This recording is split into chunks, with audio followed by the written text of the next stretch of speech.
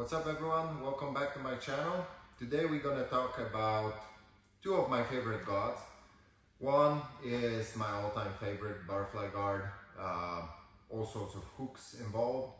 And the second one is kind of like a B-plan game, the game that I like to surprise my opponent with, which is Octopus.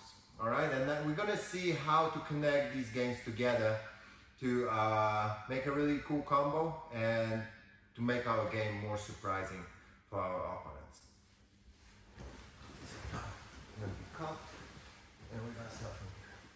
First, we're gonna hit the octopus. So I'm in a half guard, knee shield half guard kinda, and I wanna take a dive underneath my opponent's arm, and I wanna grab his hip. So I'm swinging my arm over to grab his far hip. And of course, if I force the move, my opponent can anticipate more.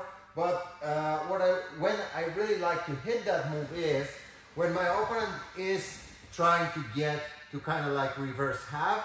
So he's actually bringing that arm across my body and he wants to break his hips down. So all I have to do is just get a uh, right timing to maybe scoot out a little bit because I don't want him to be on my chest heavy and to swing that arm around his far hip. And here, I can totally stay with this control, but some people uh, gonna like controlling the lapel or my opponent's lat more. Some people like to control the belt more. Here will be totally fine, all right? Controlling the, the far hip. And now, when I get here and my opponent breaks his hips to the ground. So his hips are sideways. He's not with his hips up. What I want to do is I want to use my free leg to enter my hook. All right, so we're in a position. Free leg goes underneath the knee.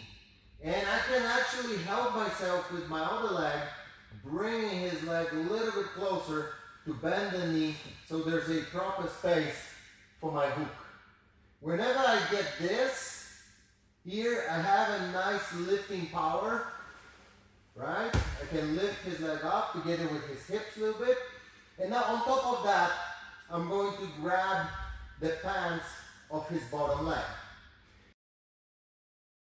Now, I have a couple directions that I can move my opponent to.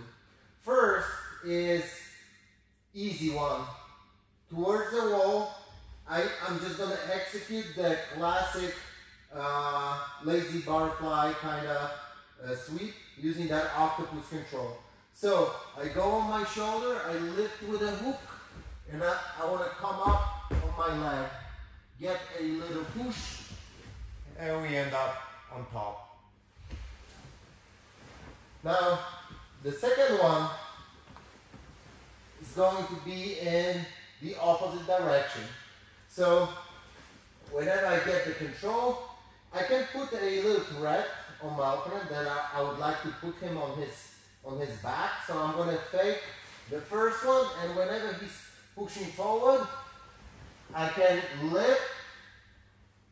My other leg goes up to give me a nice swing and power and I can execute the an overhead sweep.